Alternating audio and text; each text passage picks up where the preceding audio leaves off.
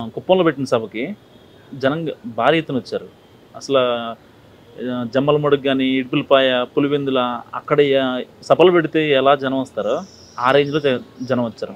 ఇది చూసి వైసీపీ ఇప్పుడు ఏమనుకుంటున్నారంటే కుప్పం కూడా మందైపోద్ది ఎమ్మెల్సీ భరత్ పక్కా గెలుస్తాడు ఇంకా ఇన్నేళ్ళుగా బాబు ఇచ్చిన పెండింగ్ హామీలు మొత్తం నేను పూర్తి చేస్తా అనే దాంతో వైసీపీ నేతలు ముందుకెళ్తున్నారు. నిన్న జగన్ కూడా అదే హామీ ఇచ్చారు. సో దీనిపై ఉంటారు అసలు నిజంగా కుప్పంలో ఈసారి వైసీపీ జెండా ఎగురుద్దంటారా? ఎగరడానికి అవకాశాలు ఎక్కువ ఉన్నాయి. ఎందుకంటే కళ్ళకి ఎదురుగా కృష్ణా జలాలు పోయిన సంగతి కనపడతానే ఉంది. అక్కడ ఉన్నటువంటి దాంట్లో మున్సిపాలిటీ కింద దాన్ని గ్రామ పంచాయతీని కన్వర్ట్ చేసిన సంగతి కనపడతానే ఉంది. చంద్రబాబు నాయుడు చేయలేదు. అక్కడ డ్రింకింగ్ వాటర్ ఫెసిలిటీ ఇవ్వలేదు చంద్రబాబు నాయుడు ఇవ్వలేదు ఈయన ఇచ్చాడు. అది మనకు కనపడతానే ఉంది. రెండు వేల పద్నాలుగులోనేమో డెబ్బై వేల ఓట్లు వచ్చినాయి. రెండు వేల పంతొమ్మిదిలో ముప్పై వేల ఓట్లేగా వచ్చింది. మన నలభై వేల ఓట్లు ఎందుకు తగ్గిపోయినాయి? ఇక్కడ ఏం జరుగుతుందంటే కుప్పం కాన్స్టిట్యున్సీలో ప్రజలు చాలామంది మెడ్రాస్ వెళ్తుంటారు దగ్గర కాబట్టి. ఓకే. పనులు చేసుకోవడానికి దానికి దీనికి అని చెప్పి కాంట్రాక్ట్ల కోసం పనులు చేసుకోవడానికి చిన్న చిన్న ఉద్యోగాలు చేసుకోవడానికి వ్యాపారాలు చేసుకోవడానికి మెడ్రాస్ వెళ్తారు.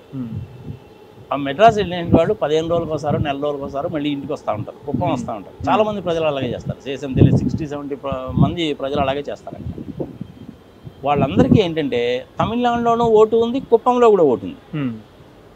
అందుకని వాళ్ళు ఏం చేసేవాళ్ళంటే తమిళనాడులో అసెంబ్లీ ఎలక్షన్స్ జరిగినప్పుడు మనకు ఆంధ్రప్రదేశ్లో జరగవు. అక్కడ జరిగినప్పుడు అక్కడ డబ్బులు తీసుకొని అక్కడ ఓటేసేవాళ్ళు.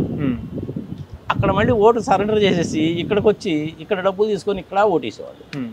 అంటే ఆ ముప్పై ముప్పై ఐదు వేల మంది ఇంచుమించుగా అక్కడ ఉండేటువంటి ఓటర్స్లో అక్కడ ఓటేసేవాళ్ళు ఇక్కడ ఓటేసేవాళ్ళు.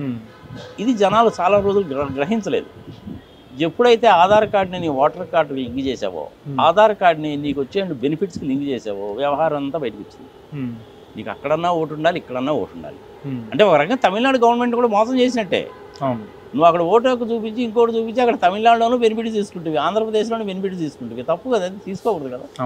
ఇది గమనించారు ఇది గమనించి ఆ ఓట్లన్నీ చాలా వరకు తీసేశారు. అందుకని ఈసారి గెలవడానికి పాజిబిలిటీ తక్కువ. వాళ్ళ సొమ్మేమైందబ్బా? మెడ్రాస్లో ఉద్యోగం చేసుకుంటున్నాడు ఉండేది ఇక్కడ. అక్కడ బెనిఫిట్ వస్తుంది ఇక్కడ బెనిఫిట్ వస్తుంది. వాళ్ళకి ఓటేసాడు వీళ్ళకి ఓటేసాడు ఈసారి అది కుదరదుగా? అందుకని చెప్పి ఈసారి చంద్రబాబు నాయుడు కూడాను ఇంకొక కాన్స్టిట్యున్సీ నుంచి కూడా పోటీ చేస్తే బాగుంటుందేమో అనే ఆలోచనలో పడ్డాడు. ఓకే. చేసినా కానీ మనం ఆశ్చర్యపడాల్సిన పని లేదు. చేయడం తప్పేం కాదు. మోడీ గారు కూడా వారణాసి నుంచి గాంధీనగర్ నుంచి చేశాడుగా. ఇందిరాగాంధీ చిక్మగళూరు నుంచి చేసింది ఆమె ఉత్తరప్రదేశ్ నుంచి చేసిందిగా. ప్రజాస్వామ్యంలో ఆ హక్కు ఉంది. మరి రెండింటికే చేయొచ్చా?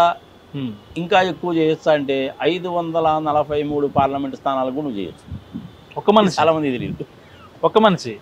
చేయొచ్చండి చెయ్యకూడదని రాజ్యాంగంలో లేదుగా. మూడు స్థానాల కంటే ఎక్కువ చేయకూడదు అని రాజ్యాంగంలో ఉందా? పీపుల్స్ రిప్రజెంటేటివ్ యాక్ట్లో ఉందా? నాకు తెలిసినంత వరకు లేదు. అందుకని ఐదు వందల నలభై మూడు మంది కూడా ఐదు వందల నలభై మూడు స్థానాల్లో కూడా చేయొచ్చు. ఎంత ఖర్చు అవుద్ది? ఇరవై ఐదు వేల రూపాయలు ఏంటిది నువ్వు డిపాజిట్ కట్టాలి. మా పెట్టుకుంటే ఒక ఐదు లక్షలు ఆరు లక్షలు పది లక్షలు ఖర్చు పెట్టుకుంటాం. మామూలుగా ఉండేవాడు అయితే. ఉమ్. ఉత్తరప్రదేశ్ లాంటి ప్లేసెస్లో అయితే ఎంపీ అంటే మ్యాక్సిమం వన్ క్రోర్ అవుద్ది. ఆంధ్రప్రదేశ్లో అయితే వంద కోట్లు తక్కువ కాదు. వంద కోట్లు ఈజీగా పెట్టుకోవాల్సింది.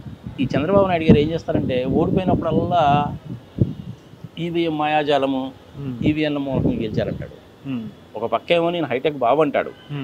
ఉమ్, సత్యానాథనాన్ని కంప్యూటర్స్ నేర్చుకోమని చెప్పింది నేనేనంటాడు. నా మూలకంగానే మీ అందరూ అమెరికా వెళ్ళి కోట్లు సంపాదిస్తున్నారు నాకు డొనేషన్ ఇవ్వండి అంటాడు. ఆయన కొడుకేమో ఏకంగా అమెరికా పోయి మీ ఉత్సాహం చూస్తుంటే మనం కనుక నిలబడినట్టయితే అంటే ఏది తెలుగుదేశం పార్టీ కనుక నిలబడినట్టే అమెరికా ప్రెసిడెంట్ అయిపోవచ్చు అని మాట్లాడతాడు. అబ్బా కొడుకులేమో ఈ రకంగా మాట్లాడుతుంటారు.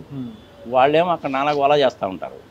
అమరావతి విషయంలో ఇంటర్నేషనల్ కోర్ట్ ఆఫ్ జస్టిస్లో కేసు పెట్టడానికి పోయారు.